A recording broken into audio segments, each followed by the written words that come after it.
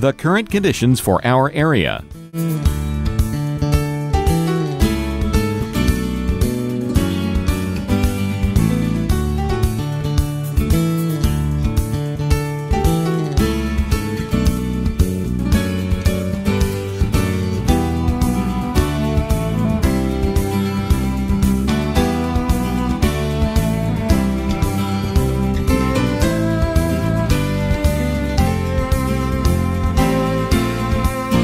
For the rest of tonight, snow accumulating 10 to 15 inches.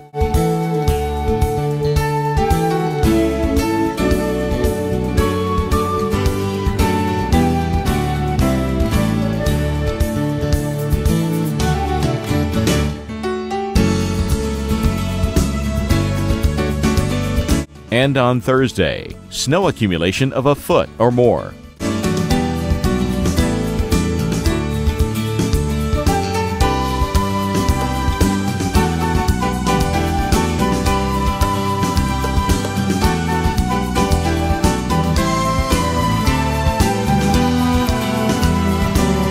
And Thursday night. Total storm accumulations exceeding 3 feet.